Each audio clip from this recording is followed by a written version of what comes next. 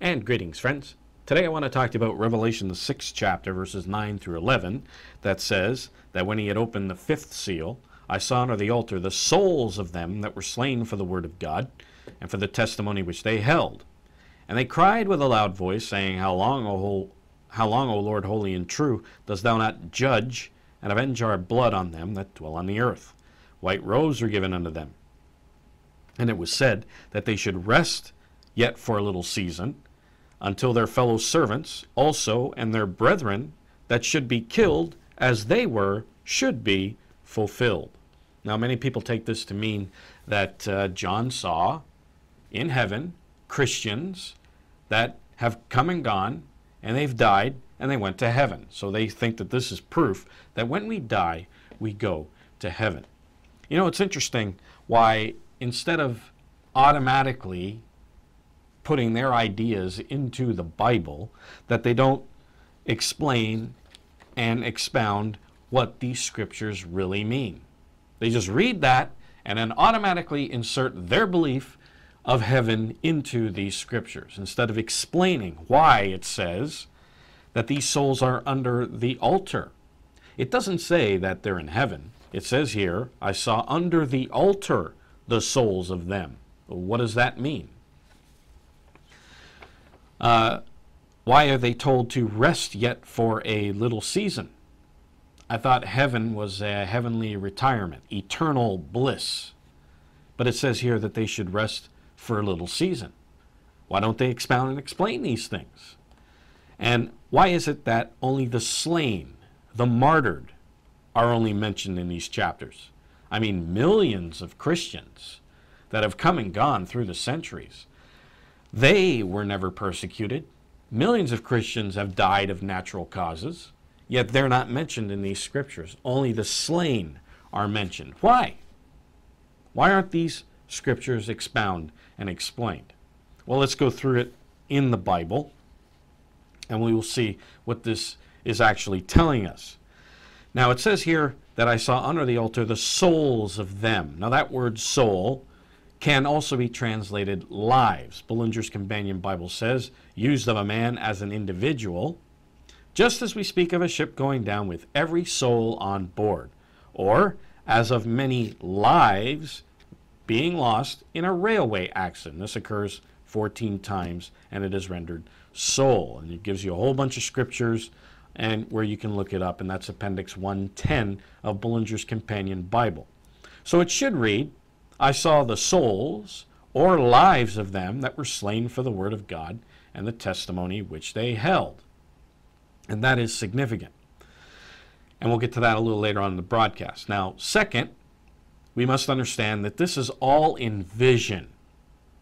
Now, these visions, there's a meaning for these visions.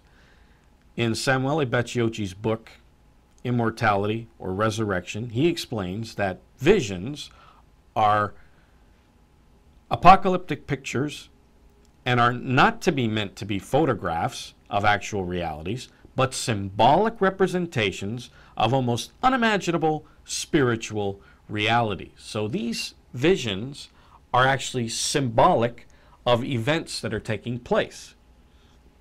Now he says of this scene, it says here, there are no souls of martyrs in heaven squeezed at the base of an altar. The whole scene is simply a symbolic representation designed to reassure those facing martyrdom and death that ultimately they would be vindicated by God. So this is a symbol of martyrdom that is taking place. And where does martyrdom take place? Up in heaven? No. It takes place on this earth. And this comes to the third point I want to make. This third point is the correct context of the events of the visions that are taking place in this chapter. When you look at the four horsemen, we see the white horse, the red horse, the black horse, and the pale horse. These events are taking place on the earth. Deception, war, famine, and death don't take place in heaven it takes place on this earth. And if you notice verse 8, it says, Power was given unto them, that's the four horsemen, over the fourth part of the earth. So these sequence of events are taking place on this earth, and we must follow the logical sequence of events that are taking place, which is also taking place in the fifth seal and also the sixth seal. You will see that these events are taking place on this earth.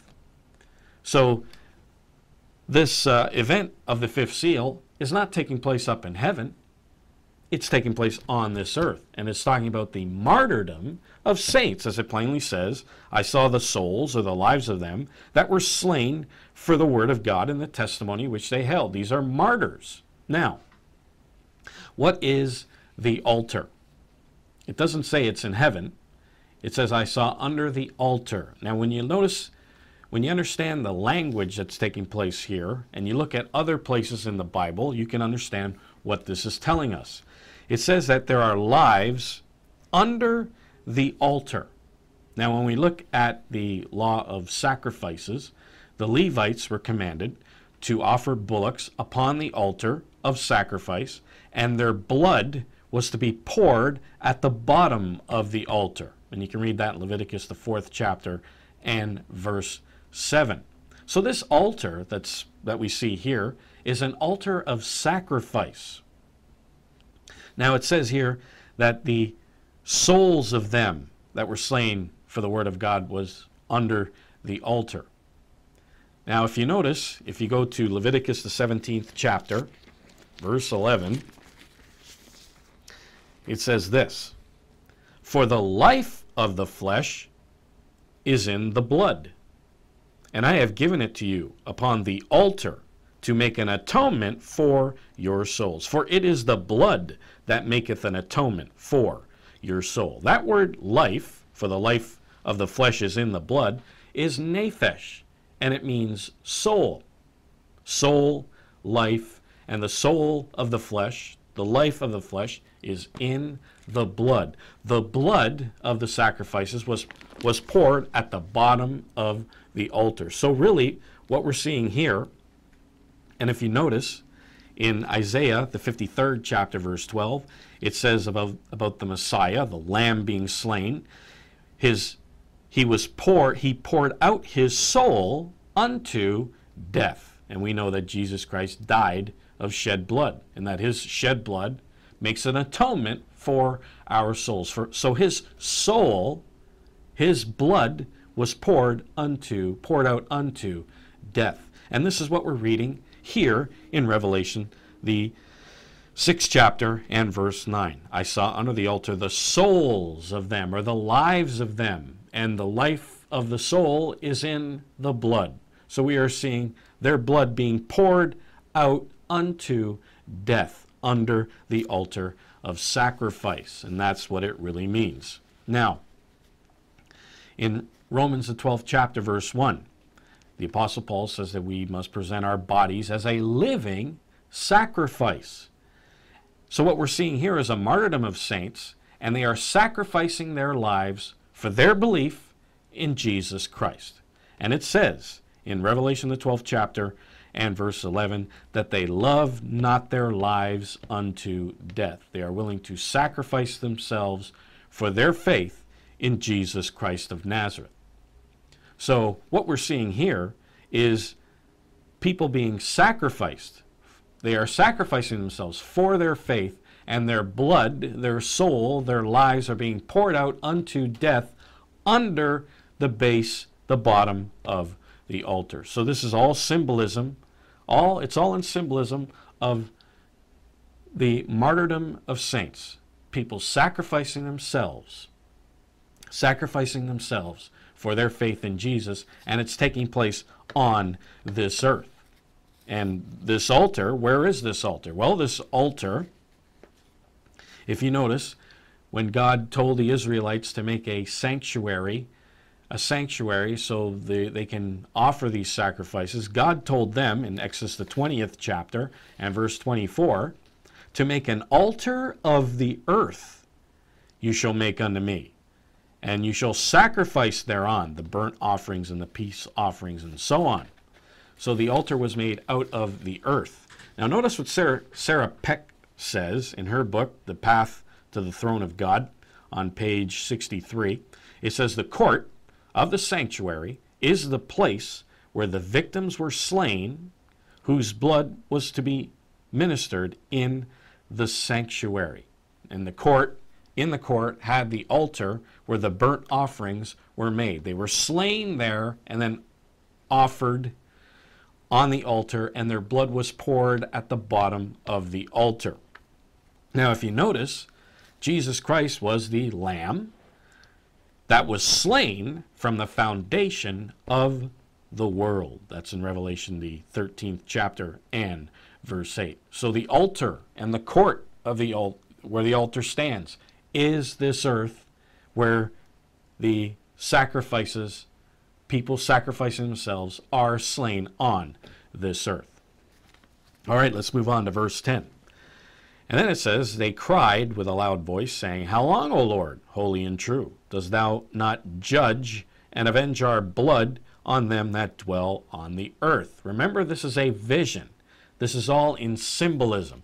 This is the same language that we read in Genesis, the fourth chapter, and verse 9, where it says, The Lord said to Cain, after he slew his brother, Where is Abel, your brother? And he said, I know not. Am I my brother's keeper? Then, verse 10, God said to him, What have you done? The voice of your bro- brother's blood cries unto me from the ground. Now, obviously, this is in metaphor because blood doesn't have a mouth. This is all in metaphor. It's speaking of vengeance.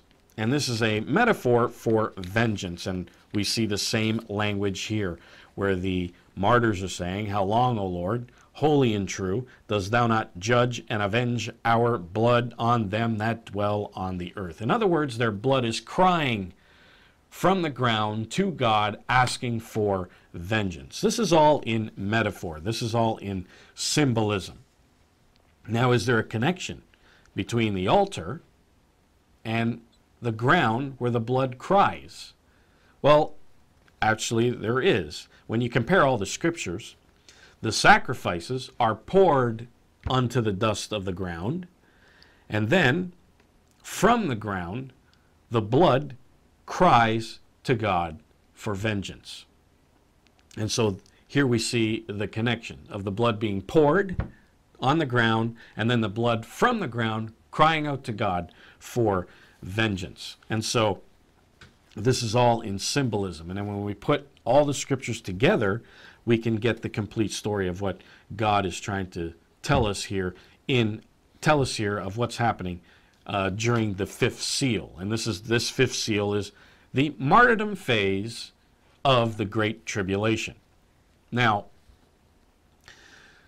then it says that these martyrs were told to rest yet for a little season until their fellow servants are killed as they were. So these martyrs that have come and gone, that are in their graves, death is likened unto a sleep. And God is to- telling them, just rest just for a little while longer while this martyrdom of saints takes place. And then after that martyrdom phase of the Great Tribulation is over, as it says, as they were should be fulfilled, once that's over, God is going to resurrect them and they will be resurrected to eternal life and they will inherit the kingdom of God that's going to take place on this earth. So, to say that these scriptures prove that when we die we go to heaven is just another Bible misconception.